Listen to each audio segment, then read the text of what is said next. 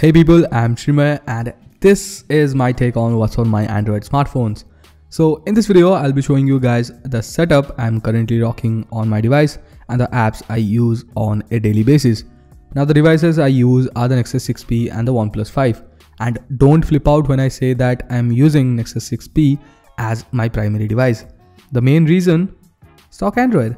If you know me, I have always been a fan of stock Android and I can go on and on about saying how great it is, but I won't. We already know that.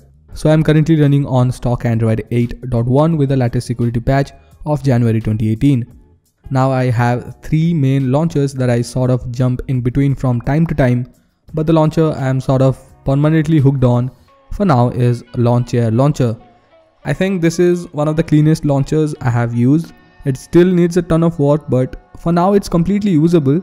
It gives a very close to stock Android look and feel in terms of UI and design choice that I absolutely dig. In terms of customizability, we can't make some major changes, but we have some basic tweaking options like resizing apps, changing the icon pack and tweaking the grid and so on. If you look at my home screen, I have a pretty clean looking setup. In the right side of the screen, I do have a weather widget from Today Weather app that sort of give me the basic information of today's uh, temperature and even shows the weather forecast of the upcoming days. That's sometimes comes really handy and and come on it even looks kinda nice just sitting there. Now on my main page of the screen these are my basic essential apps that I sort of regularly use.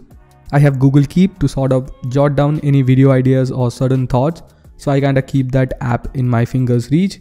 Then I have Instagram the social media platform that I think I'm most active on. So do follow me in there. I have also YouTube creators app to its right. And yeah, this is I think the most opened app on my device. I sort of always check my analytics or give reply to the comments. VSCO is there and like many others, it's my go-to photo editing app. I also have Google Maps on my home screen in case I need it. In the dock, I have same old stuff that I think most of the people have. The dialer, Spotify, yeah, I listen to music a lot, mostly Charlie Puth and Gavin James. I have Inbox as my go-to email app. Also there is Fenix as my primary Twitter client. I'm trying to get a little bit active on Twitter nowadays, so follow me in there if you guys want to. So yeah, Fenix is I think one of the cleanest looking Twitter clients, so definitely check it out. Then we have the same old Chrome as my default browser. In my app drawer, I also have some important apps that I use more often like Discord to get in touch with my gaming community friends. I use LastPass as my password manager.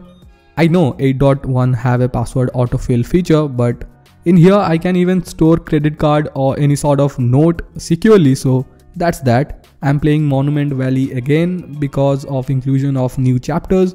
My Splash app is now my Unsplash client to get stock pictures and wallpapers.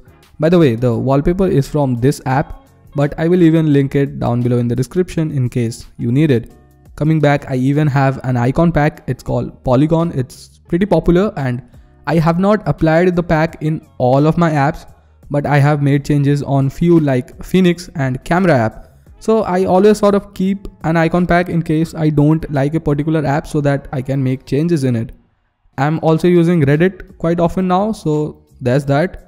Retro Music Player is my favorite music player as it is the most cleanest and the minimal looking music player I have ever came across. I also have Snapseed as a secondary editing option. Also I use Textra as my main SMS client. And how can we forget the Wonderwall, a wallpaper app that basically has a crazy collection of nature based wallpaper.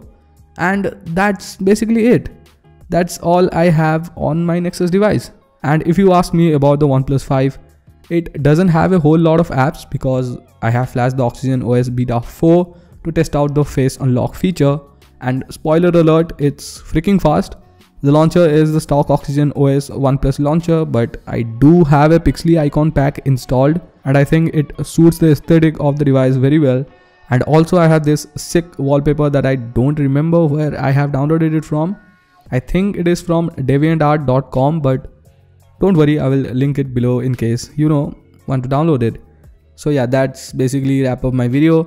This is my current setup and the essential apps that I am using in 2018. Thank you for watching and don't forget to leave a like in this video, subscribe and press the bell icon to never miss out on any content like this. I'll talk to you in the next one. Till then, eat, breathe, and grow old.